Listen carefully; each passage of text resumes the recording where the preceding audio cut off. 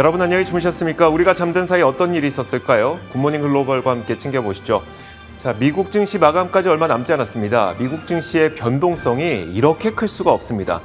어, 이날은 FOMC 통화정책회의 결정 어, 내용이 발표되는 날이었었죠. 일단 그 성명서가 발표되기 전까지만 하더라도 3대 지수 모두 높은 상승 탄력을 좀 이어갔었고요. 나스닥 지수는 장중한 때 뭐 3.4%까지 오를 정도였으니까 상당히 분위기가 좋은 모습이 이어졌습니다.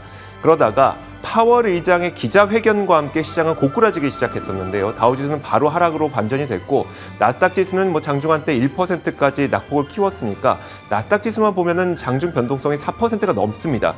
굉장한 변동성을 보였었는데 일단 시장 하락을의 발단을 일으켰던 어, 요인은 바로 파월 의장의 기자회견이었습니다. 이 자리를 통해서 인플레이션의 upside risk가 있다고 얘기를 했고요. 또 한 가지가 금리 상승 여력이 아, 금리 상승의 이 여지가 상당 부분 있다고 얘기를 했습니다. 그만큼 금리 인상이 몇 차례 더 있을 것으로 시장에서 판단을 했고요. 인플레이션이 잘 조절되지 않는 것인가라는 시장의 불확실성이 가중되면서 이런 것들이 시장의 어, 하락 요인으로 작용을 했습니다.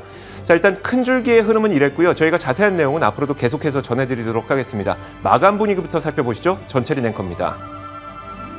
네, 미국 증시 마감 분위기 전해드리겠습니다. 오늘 미국 증시는 FOMC 회의 결과를 주목한 가운데 상당한 변동성을 이어가고 있습니다.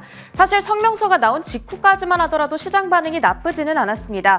대체로 예상에 부합하는 결과였기 때문인데 딱 세 가지 포인트였습니다. 우선 금리 인상 시점은 오는 3월 0.25%포인트 올리겠다고 예고를 했습니다. 예상에 부합하는 수준이었고요. 테이퍼링 규모는 300억 달러 축소를 하고 예정된 대로 3월에 종료하겠다는 발언을 재확인시켜줬습니다. 그리고 대차 대조표 축소 시점이 많은 주목을 받았었는데 금리 인상이 단행된 이후에 하겠다고 확실히 발언을 해줬습니다. 이때까지는 시장 반응도 나쁘지 않았습니다. 오히려 상승세를 다시 키우기도 했었는데 문제는 그 다음 기자들과의 질의응답 시간에 나왔던 발언이 되겠습니다. 인플레이션 수위에 대해서 조금 더 강도 높은 발언이 나오기도 했고요. 그리고 기준금리를 올릴 수 있는 여지가 꽤 있다라는 뉘앙스의 발언을 했습니다. 올해 금리 인상의 폭이 제한적일 거라는 투자자들의 예상에 엇나가는 발언이었기 때문에 이때 국채 금리가 10년물 금리가 1.8%대까지 다시 튀어오르고 지수는 방향을 전환해 상승폭을 반납하고 있는 상황이 되겠습니다.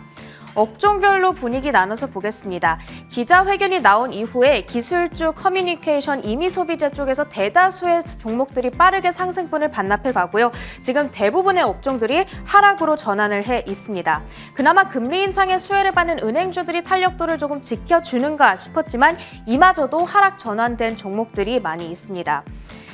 어, 커뮤니케이션 섹터 내에서는 버라이즌과 AT&T 통신사의 주가가 크게 빠진 데다가 빅테크주들의 탄력도도 줄면서 부진한 흐름을 나타내고 있는데 AT&T가 오늘 장전의 실적을 전해줬습니다. 좋은 실적이었고 또 HBO 구독자 수도 견조하게 나왔습니다. 그렇지만 사업 포트폴리오 재정비에 대한 불확실성 그리고 다가오는 배당금 축소 이슈가 있다 보니까 투자자들이 이런 부분을 주목하면서 자금을 크게 빼고 있는 그런 흐름이 되겠습니다. AT&T의 주가 크게 빠지고 있습니다.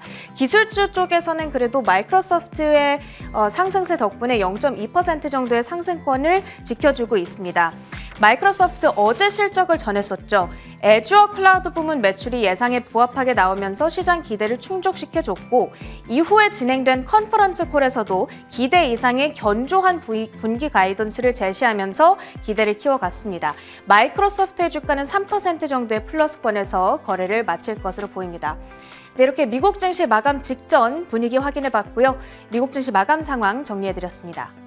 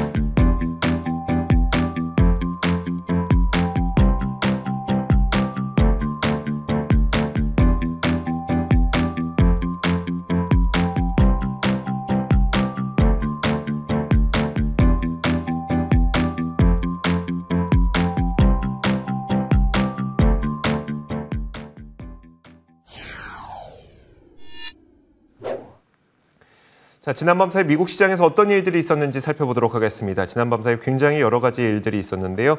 자, 애프터마켓 오늘도 신한금융투자 WM 리서치부 최진석 팀장과 함께 하겠습니다. 어서 오세요. 안녕하십니까. 네, 안녕하세요. 자, 먼저 첫 번째 키워드부터 한번 만나보도록 하죠. 자, 첫 번째 키워드는 바로 이겁니다. 키워드 보겠습니다. 자, 곧 적절해진다라는 키워드고요. 어, 아무래도 파월 의장의 얼굴이 보이는 거 보니까 FOMC에 관련된 이야기일 것 같은데 저희가 조금 전에 이 파월 의장의 성명서 발표문을 어, 실제로 저, 여러분들에게 전해드렸습니다. 그 내용을 한번 먼저 보고 오시죠. 연준에서는. Today, In support of these goals, the Federal Open Market Committee kept its policy interest rate near zero and stated its expectation that an increase in this rate would soon be appropriate. The committee also agreed to continue reducing its net asset purchases on the schedule we announced in December, bringing them to an end in early March. As I will explain, 또한 of 저희가 elevated inflation and a strong labor 9월에 market, 발표했던 our policy has 대로 been 테이퍼링 adapting to the 속도를 evolving 유지하기로 economic environment. 결정했습니다. 그리하여 테이퍼링의. 종료 시점은 3월로 결정했습니다. 자, 일단 어, 파월 의장이 첫 부분에서는 금리 동결을 얘기했었는데요. 일단 곧 적절해진다라는 게 어떤 내용을 말하는 걸까요? 네, 일단 저는 뭐 성명서 내용이나 이번에 FOMC 일단 결과에 대해서 좀 얘기를 해보려고요. 네네. 깜짝 1월 금리 인상은 없었습니다. 일단은 그리고 연준이 선택한 표현이 바로 곧 금리 인상이 적절해진다였습니다. 이날 이 성명서에서 FOMC는 인플레이션이 2%를 대폭 상회하고 있고 그리고 고용 시장이 견고함으로 곧 금리 인상이 적절해질 것으로 예상한다라고 표현을 했는데요. 그리고 이 테이퍼링은 여전히 3월에 종료하는 페이스로 진행할 것이다라고 밝혔습니다. 그리고 이 현재 한 9조 달러 정도 되는 대차대조표, 그러니까 연준이 보유하고 있는 자산 규모를 축소하는 것에 대한 가이드라인도 좀 제시를 했는데요. 뭐 상당 부분을 덜어낼 것이다. 그러면서 가이드라인 제시를 했지만은 정확히 언제 시작할지는 그 시기에 대해서는 공개를 하지는 않았습니다. 음, 알겠습니다. 사실 성명서 발표와 함께 시장의 분위기를 그 당시 보니까 상당히 시장에서도 반기는 분위기가 나타났었거든요. FOMC 회의 결과가 발표된 직후에 시장이 환호했던 이유는 뭐였을까요? 네, 일단은 그 성명서 내용, 그러니까 기자회견 전까지는 분위기가 좋았는데요. 일단 뭐 굉장히 급진적인 내용은 없었다. 뭐 예상 범주였다. 이런 쪽의 해석이 많았던 것 같습니다. 이 성명서 내용을 좀 더 보면은 그러니까 지난번 FOMC와 바뀐 부분에 대해서 좀 집중을 해보자면은 금리 결정 배경과 관련을 해서 과거에는 얼마간 인플레이션이 2%를 초과하고 있기 때문에 뭐 어떻게 뭐 이번에 또 뭐 동결을 한다 뭐 이런 식으로 얘기를 했었는데 이번에는 대폭 그 인플레이션이 2%를 상회하고 있다. 그리고 강한 고용 시장이 나타나고 있다. 이런 식의 좀 표현을 좀 바꾼 것 외에는 뭐 특별하게 바뀐 내용은 없었습니다. 그런데 이제 결과 발표 직후에 환호 반응이 나타났던 것은 무엇보다도 깜짝 1월 인상이 없었다라는 데 좀 안도를 한 것 같고요. 그리고 경제가 그만큼 좀 강하다라는 점을 성명서에서는 강조를 했기 때문에 일단 좋은 반응이 나타났던 것 같고 뭐 전문가들의 반응을 좀 종합을 해보자면은 그 중에 무하마드 엘 에리언 과거 이제 핑코 CEO죠 예상했던 결과였다라고 얘기를 했습니다. 다만 이제 이 인물 같은 경우에는 지속적으로 연준이 현재 나타나고 있는 인플레이션 대비해서 정책 전환이 느리다라고 얘기를 하고 있는 그런 인물이기 때문에 예상했던 결과지만은 연준이 해야 할 일을 하지는 않았다. 또 한번 이렇게 좀 비판을 하기도 했는데요. 사실은 이렇게 뭐 성명서 내용은 좀 무난했던 것 같고 네. 기자회견 내용이 좀 중요했죠. 그 내용 뭐 준비를 네, 하셨죠? 그러니까요. 저 일단 성명서 내용이 나올 때까지만 하더라도 시장 반응 상당히 좋았습니다. 그리고 성명서가 발표되면서 시장은 오히려 상승 탄력을 더 높여가는 모습이었었고요. 하지만 기자회견 시작과 함께 일단 시장은 크게 고꾸라지는 모습을 보여줬었는데 어떤 일들이 있었는지 한번 살펴보겠습니다. 다음 키워드 이제 공개하겠습니다. 다음 키워드는 바로 이겁니다. 자, 워낙 기자회견과 함께 시장이 고꾸라지다 보니까 기자회견 악재라는 표현을 제가 한번 써봤는데요. 이 기자회견 뭐 어떤 내용들이 있었는지 두 번째 이 파월 의장의 성명서 낭독도 한번 살펴보도록 하겠습니다. there's quite a bit of room to raise interest rates without threatening the labor market. This is 자, 기자회견에서는 이제 일단 그 노동시장이 금리 인상이 노동시장에 타격을 주지 않을 것이다. 그렇기 때문에 우리는 금리 인상을 할 것이다. 라고 얘기를 했었는데 사실 기자회견에서는 어떤 얘기를 했었냐면 훨씬 더 좀 강력하게 이야기를 했습니다. 그 내용을 한번 정리해 보도록 할게요. 자, 파월 의장의 성명서 발표 때까지만 하더라도 잘 상승하던 미국 증시가 파월 의장의 기자회견 시작과 함께 빠르게 상승 탄력을 좀 줄였습니다. 자, 파월 의장의 발언이 시장에 부담을 줬다는 게 분명해 보이는 대목인데요. 다우 지수는 바로 하락으로 전환이 됐고 나스닥은 뭐 한때 3.4% 정도까지 급등하기도 했었지만 상승 탄력을 모두 반납했습니다. 급격한 하락으로 전환이 됐죠. 자, 그 이면에는 10년물 국채 금리가 1.84%까지 급등했다는 시장 현상도 있었고요. 발단이 됐던 파월 의장의 발언은 이걸로 해석이 됩니다. 파월 의장이 기자회견에서 이 부분을 강조했었는데 고용 시장이 타격을 받기까지 금리 인상의 여지가 상당히 남아 있다. 이렇게 얘기를 한 겁니다. 시장에서는 금리 인상 속도가 생각보다 빠를 것이고 시장에서 예상했었던 뭐 세네 차례의 서너 차례의 금리 인상이 아니라 올해에는 그 이상의 금리 인상이 있을 수도 있겠구나라는 점으로 시장에서는 해석이 됐던 것 같습니다. 실제로 이 발언이 있은 직후에 제가 CME 페드워치를 들어가 봤거든요. 그랬더니 올해 다섯 차례에서 여섯 차례 인상할 수 있겠다고 베팅한 시장 참가자들이 급격하게 늘어나는 모습을 보일 수가 있었습니다. 빨간색 사각형을 보시면 되는데요. 이게 왼편이 바로 다섯 차례 금리 인상, 그리고 오른편이 여섯 차례 금리 인상을 하는 이 베팅 비율을 보여주는 겁니다. 어, 이게 원래 기자회견이 있기 직전까지만 하더라도 다섯 차례 인상 확률이 23% 정도였었거든요. 하지만 이것이 빠르게 상승하면서 29%로 높아졌고요. 여섯 차례 인상 확률도 기자회견 직전까지만 하더라도 한 8%대였었는데 이게 13에서 14%까지 급격하게 높아지는 모습을 보였습니다. 뭐 이 외에도 여러 가지 발언이 있긴 있었어요. 대차 대조표 축소는 시간이 많이 걸릴 것이고 예측 가능한 범위에서 하겠다는 발언이 있었고요. 미국 경제는 더 이상 높은 수준의 통화 정책이 필요하지 않다는 발언, 또 노동 시장은 금리 인상을 감당 가능하다 이런 발언들도 있었지만 이 내용들은 뭐 성명서와 크게 다르지 않았고 금리 인상 속도에 대해서 금리 인상이 예상보다 클 수 있다는 발언이 가장 큰 악재로 작용을 했습니다.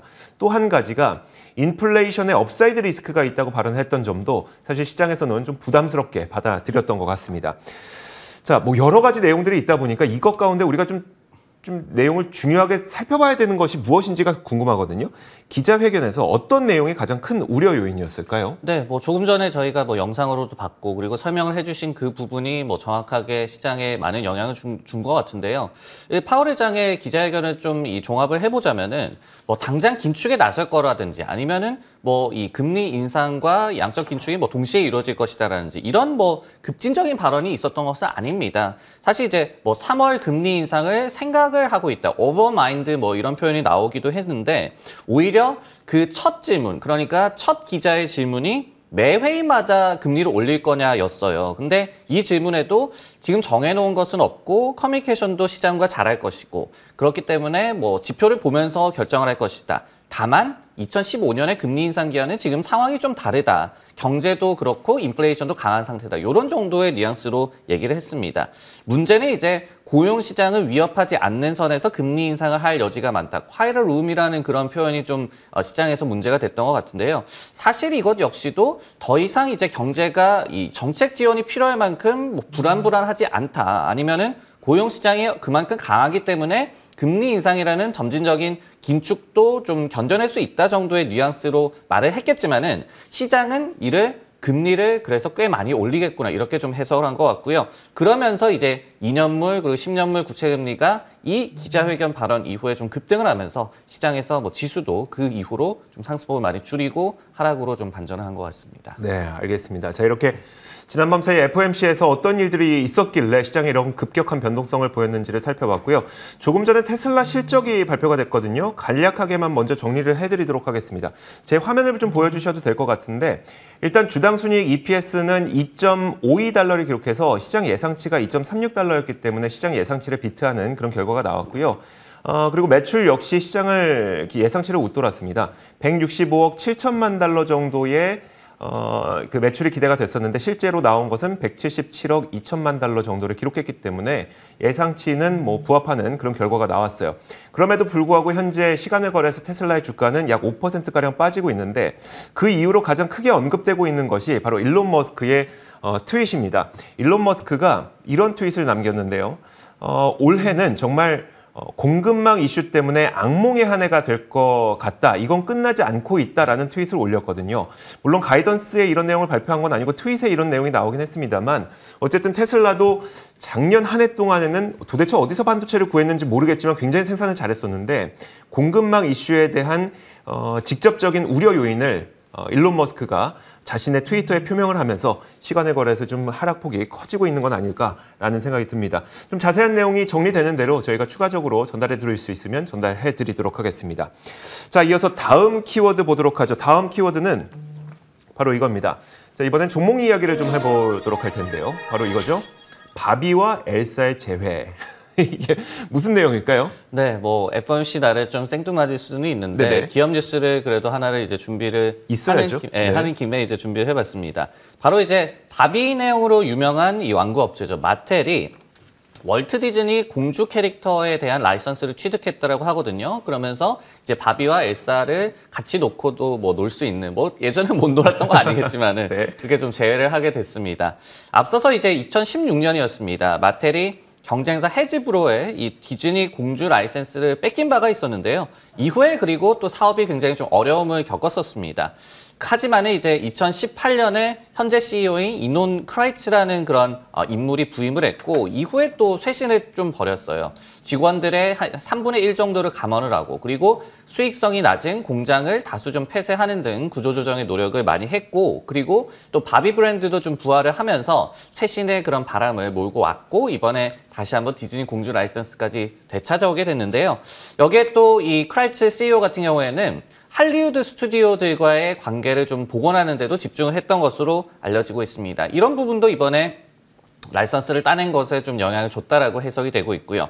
참고로 이제 마텔은 내년부터 디즈니 공주 캐릭터의 인형을 다시 판매할 계획이라고 하고요. 다만 이제 계약금과 관련한 뭐 재무적인 상황에 대해서는 이번에 공개되지는 않았습니다. 사실 디즈니의 뭐 인형이라든지 아니면 디즈니의 피규어를 생각하면 우리가 문득 떠올리게 되는 건 해즈브로거든요. 아무래도 마블 캐릭터의 그 판권을 갖고 있다 보니까. 근데 어, 디즈니 공주의 캐릭터를 마텔이 라이선스를 취득했다는 게 어느 정도 효과가 있을 것이고 그럼 경쟁사인 해즈브로는 큰 타격을 받게 되는 거 아닐까요? 네, 이 UBS에서 관련해서 좀 분석을 내놨는데요. 신작 영화가 없는 해, 그러니까 뭐 겨울왕국 신작이 나온다면 좀 이례적으로 많이 팔릴 수가 있잖아요. 네. 그래서 이제 통상적인 수준을 감안을 해봤을 때는 디즈니 공주 라이선스와 그리고 겨울왕국 관련한 그런 인형으로 인해서 한 3억 달러 이상의 또 매출을 추가적으로 거둘 수 있을 것이다라고 예상을 했습니다.